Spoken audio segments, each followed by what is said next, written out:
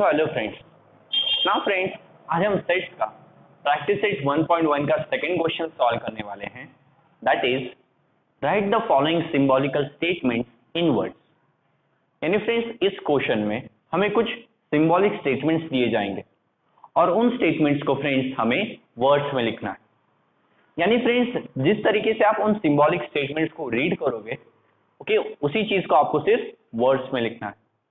जैसे कि फ्रेंड्स हमारा फ़र्स्ट क्वेश्चन है okay four upon three then okay तो फ्रेंड्स ये रहा हमारा गिवन क्वेश्चन ना फ्रेंड्स यह एक सिंबॉलिक स्टेटमेंट है बिकॉज़ यहाँ हमने सिंबल्स यूज़ किए हैं. ना फ्रेंड्स इसी सिंबॉलिक स्टेटमेंट को हमें वर्ड्स में लिखना है. तो फ्रेंड्स जिस तरीके से हम इसे रीड करेंगे सेम चीज़ को हमें सिर्फ़ वर्ड्स में राइट डाउन करना है. फ्रेंड्स अभी हम इसे रीड कैसे करते हैं? कि four upon three is the element of set Q और क्यू किसका सेट है फ्रेंड्स रैशनल नंबर्स का। तो फ्रेंड्स ये जो इप्सिलॉन की साइन है, ये किसके लिए होती है? इज़ एन एलिमेंट ऑफ़ के लिए। या फिर इज़ अ मेंबर ऑफ़ या बिलोंग्स टू तीनों ही चीज़ों के लिए फ्रेंड्स आप ये साइन यूज़ कर सकते हो। तो four upon three is a member of set Q okay four upon three is a member of set Q So we will write here 4 upon 3 is a element of member of, आप दोनों ही लिख सकते हो friends okay is an element of set Q okay four upon three is an element of set Q तो friends elements की जगह आप मेंबर्स यूज़ कर सकते हो कि four upon three is a member of set Q या फिर four upon three belongs to set Q तो जिस तरीके से हमने इस स्टेटमेंट को रीड किया, वही चीज़ हमने सिर्फ़ वर्ड्स में लिख दी है। तो चलो फ्रेंड्स अभी सेकंड देखते हैं। That is minus two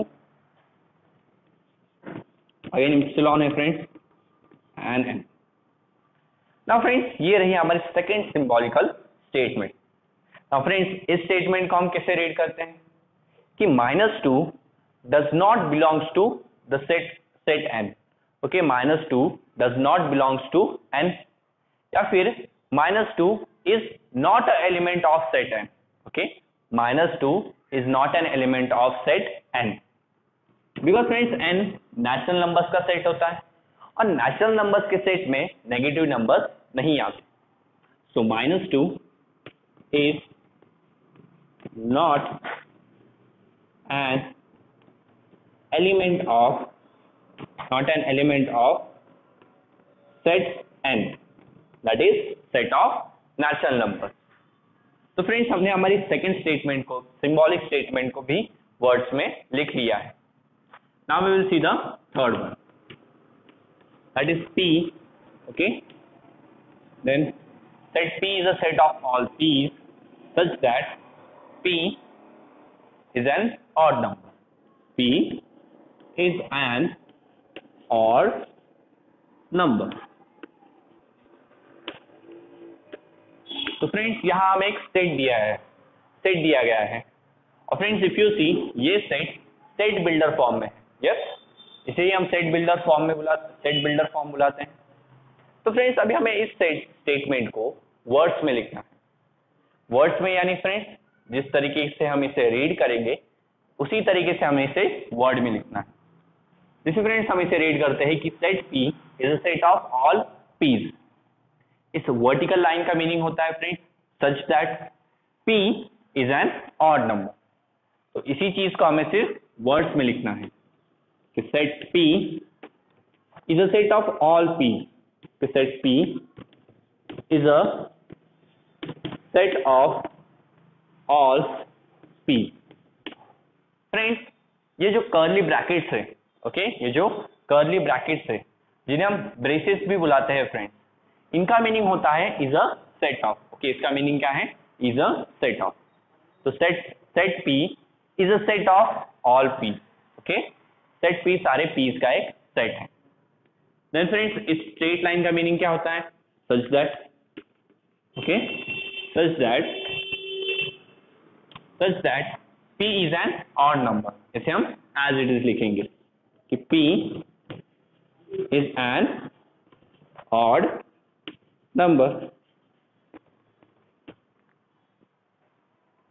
Number so friends इसी तरीके से हमने हमारा सेकंड क्वेश्चन भी सॉल्व कर लिया। हमें फ्रेंड्स तीन सिंबॉलिक स्टेटमेंट्स दी गई थी, उन्हें हमने वर्ड्स में राइट डाउन कर लिया है। तो फ्रेंड्स आप ये क्वेश्चन लिख लीजिए। इसके बाद हम इसी एक्सरसाइज का थर्ड क्वेश्चन देखेंगे। So thank you very much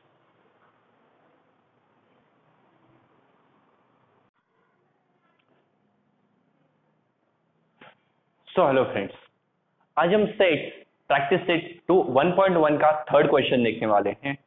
That is right any two set by listing method and by rule method now friends third question में हमें दो सेट्स लिखने हैं लिस्टिंग मेथड से भी और रूल मेथड से भी. बट फ्रेंड्स ये हम पे डिपेंड करता है कि हमें कौन से सेट लेने हैं. तो चलो फ्रेंड्स अभी हम एक सेट बनाते हैं ओके हमारे कंपास बॉक्स में जो टूल्स होते हैं, यानी हमारे ज्योमेट्री बॉक्स में जो टूल्स होते हैं, उन सब का।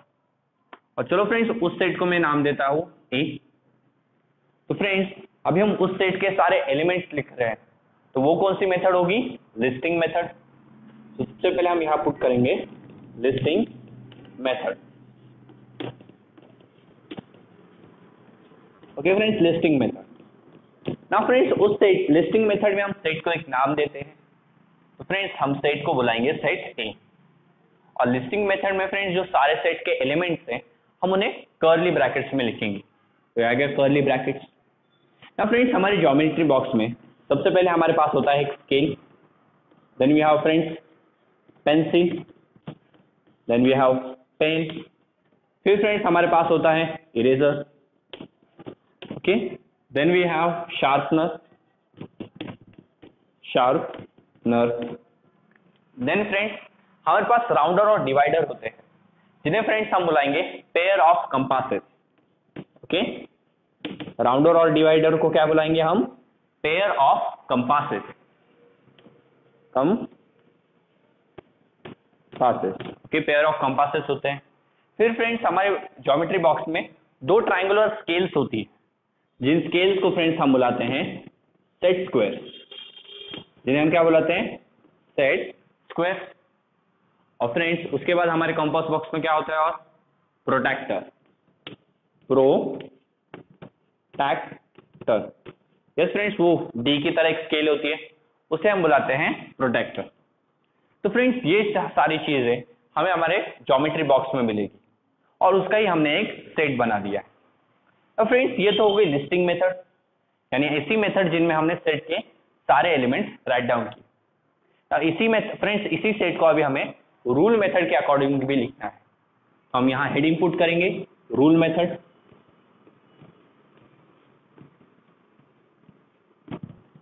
ना फ्रेंड्स रूल मेथड में हम क्या करते हैं?